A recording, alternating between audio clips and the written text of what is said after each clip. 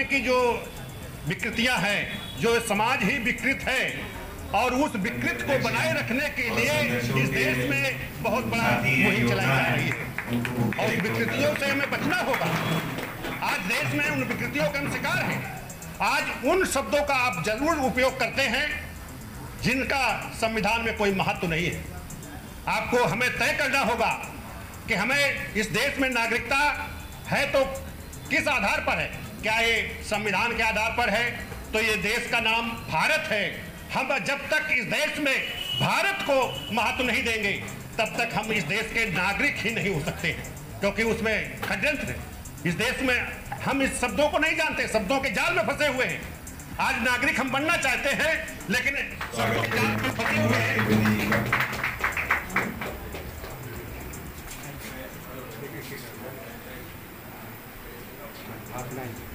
मैं श्री फैज अलीम साहब से गुजारिश करूँगा कि वो श्री अनुराग त्रिवेदी जी का माला पहनाकर स्वागत करें।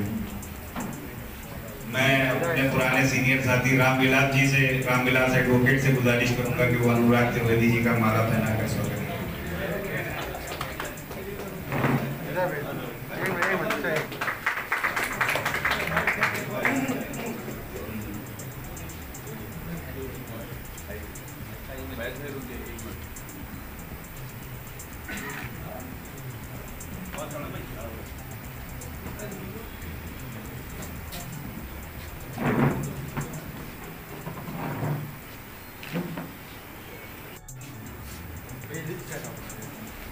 एक एक करके पहनाओ एक एक करके आओ तो वन भी जाएगा अभी भाई आप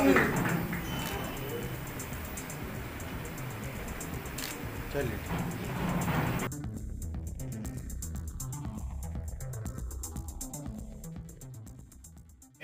अधिकार प्राप्त होना चाहिए, जो राज्य की शक्ति में के रहते हुए उसके भी अधिकारों का संरक्षण हो सके।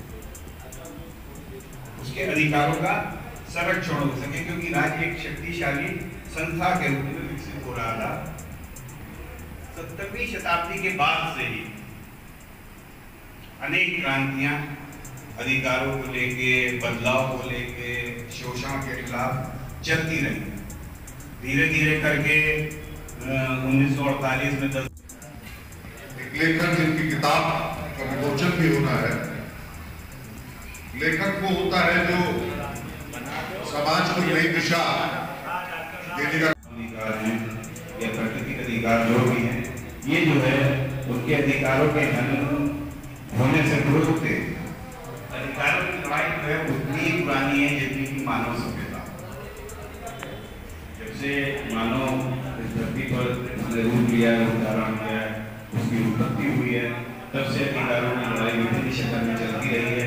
शुरुआती दौर में मानव जो छोटे छोटे समूह में रहते छोटे छोटे समूह में तो ये जो समूह या ये जो कबीले होते थे, न सिर्फ़ उसको सुरक्षा प्रदान करते थे, बल्कि उसके अधिकारों के संरक्षण में भी सहायक कोई भी व्यक्ति बिना समूह के, बिना कबीले के नहीं रह सकता।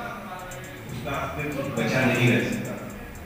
जब मानव सभ्यता जो है तरक्की करने लगी, आगे बढ़ने लगी तो ये छोटे छोटे समूह जो है, विकसित होकर राज्य की शक्ल ले रहे थे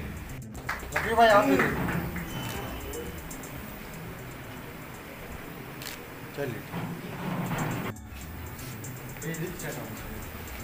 एक एक करके पहनाओ एक एक करके तो वन भी जाएगा। स्वागत करें अनुराग त्रिवेदी जी का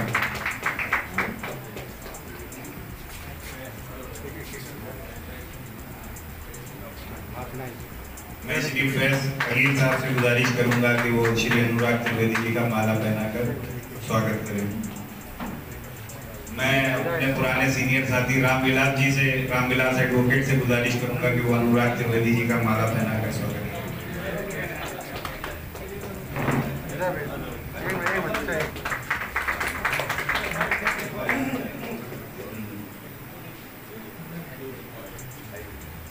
बैग में एक मिनट।